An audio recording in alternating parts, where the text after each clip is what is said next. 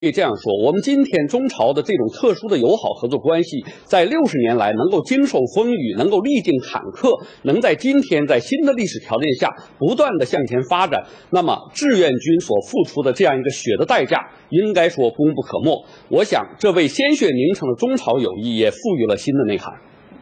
那现在我们注意到，国际媒体都在关心这样一个话题，就是中国的总理去访问朝鲜，对于重启六方会谈会起到什么样的作用？你怎么看？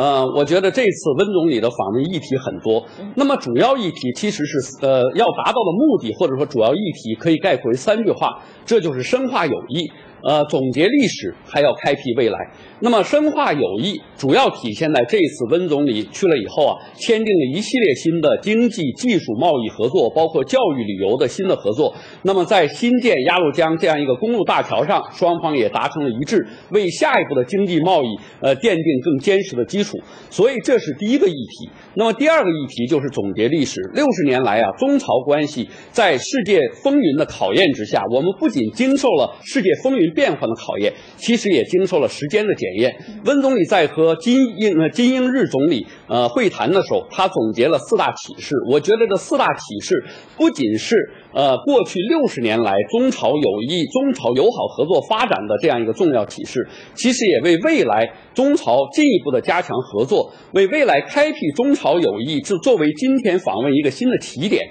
其实也奠定了一个基础。所以这是其一。其二呢？呃，我想强调的是，朝核问题啊，它的它不是朝鲜和中国的之间的问题，它是朝鲜和美国、韩国、日本之间的问题。那么，共同解决朝核问题，符合朝鲜、中国的利益，也符合有关各方的利益，符合东北亚地区和平与稳定的利益，这是其二。那么与此同时，我们知道，解决朝核问题呢，需要各方来付出共同的努力，这是我们所期待的，也是这一次温总理访朝的重要议题之一。好，非常感谢孟先生的分析。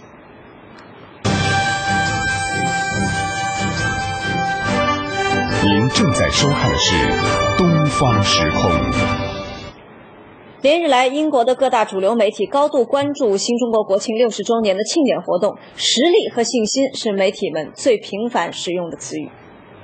英国的电视媒体在第一时间报道了新中国国庆的阅兵式。英国广播公司，也就是 BBC 和天空卫视，都在新闻节目中插播了国庆庆典的直播画面，并在新闻里滚动播出了新中国国庆庆典的新闻。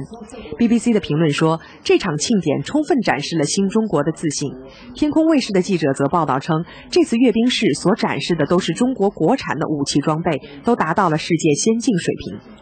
英国《每日电讯报》出版了新中国国庆特刊，以十六版的篇幅报道了新中国的建设成就以及英中两国关系近年来的发展。特刊在显著位置刊登了英国女王伊丽莎白二世向中国国家主。